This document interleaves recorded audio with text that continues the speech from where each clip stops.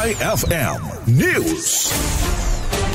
Isang centenarian mula sa tumawi ni Isabela ang pinagkalooban ng isang daang libong pisong centenarian cash gift mula sa pamahalang pandalawigan ng Isabela. Siya ay si Lolo Jose Tawakan Galupo, residente ng Barangay Santa Catalina na nagdiwang ng kanyang ikaisang daan at dalawang kaarawan. Ang insentibo ay personal na iniabot ng mga kawani ng MSWDO at mga kawani mula sa provincial governments at sa tahanan mismo ni Lolo Jose. Ang cash award ay alinsunod sa Centenarians Act of 2016 o kilala bilang Republic Act 10868. Ang batas ay nag-uutos sa pamahalaan na parangalan ang mga mamamayang isang daang taong gulang pataas ng isang daang libong pisong halaga ng cash at isang liham ng pagbati mula sa Pangulo upang kilalanin ang kanilang kontribusyon sa bansa. At yan na muna ang ating ulat sa mga oras na ito.